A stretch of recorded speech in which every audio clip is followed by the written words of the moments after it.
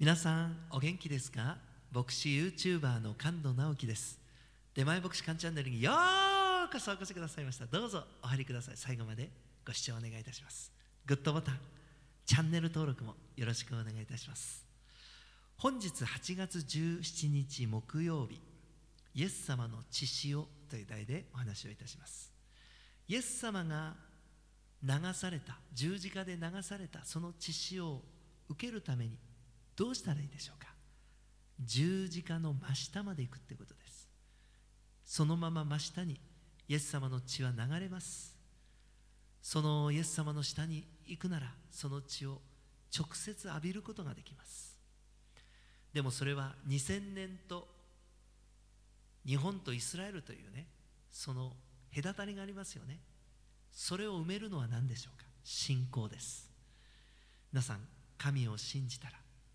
その距離やその期間を縮め直接イエス様のところに行くことができイエス様の血潮を受けることができる。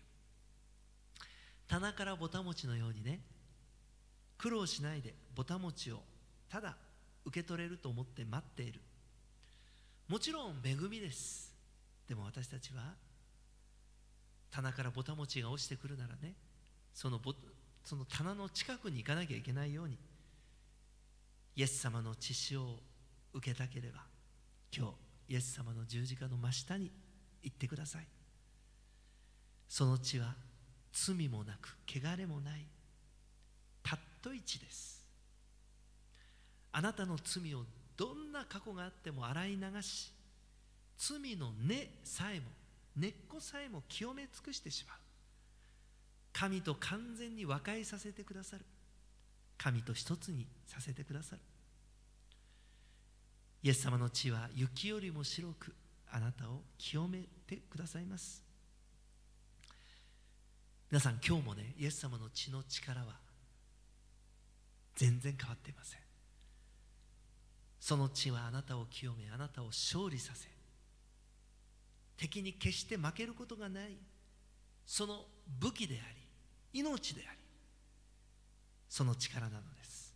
ヨハネ黙示録12の11兄弟たちは子羊の血と自分たちの証の言葉のゆえに彼に打ち勝った。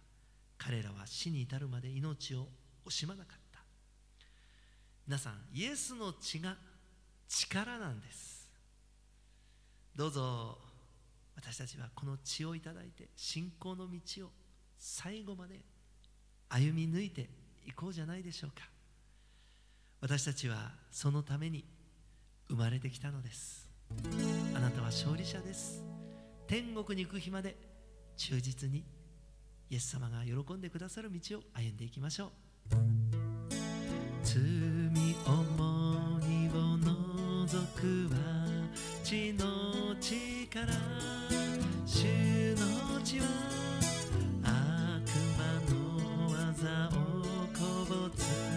つく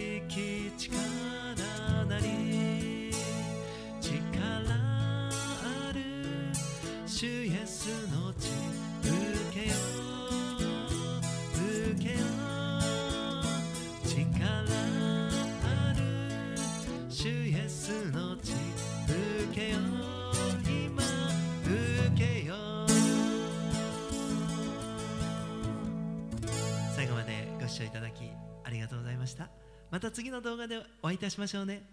その時までごきげんよう。さよなら。